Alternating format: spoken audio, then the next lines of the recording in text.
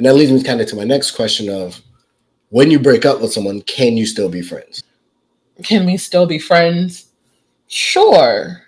I, I think it depends on the level of friendship that you have with a person before you get into the actual exclusive relationship.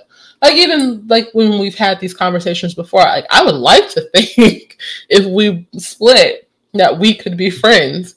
But you've made it very clear that if we ever got divorced or anything, like that wasn't going to be a thing, which to me is really sad because like deep down, especially when you really care about someone and you've built a life with someone and some sort of there's a foundation of friendship, which like what we have, I would think that once you get past all that anger and bitterness and you know all those emotions that you go through after a breakup, there can be some semblance of friendship, especially for people who have kids.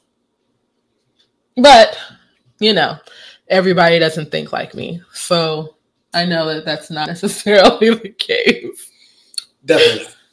Um, so I, I had this conversation in the group chat I was in, and it's interesting to hear different people's perspectives on it. Um, one, I don't agree with your perspective when, and it's not a foreign or or a small group of people that feel that way.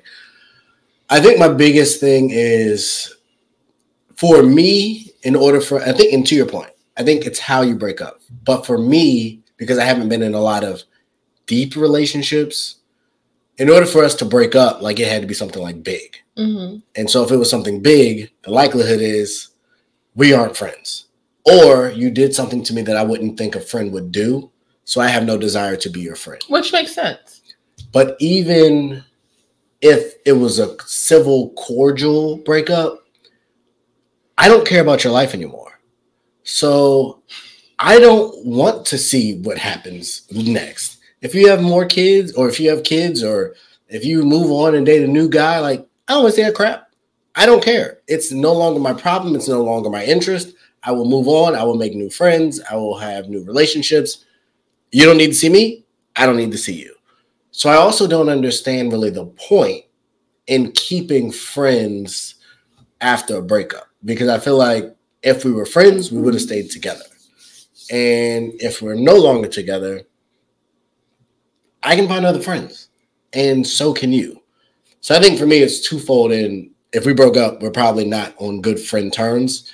And the kind of person I am is once I'm kind of over it, I'm over it. And then two is like, I just don't see the value in keeping that kind of friend around.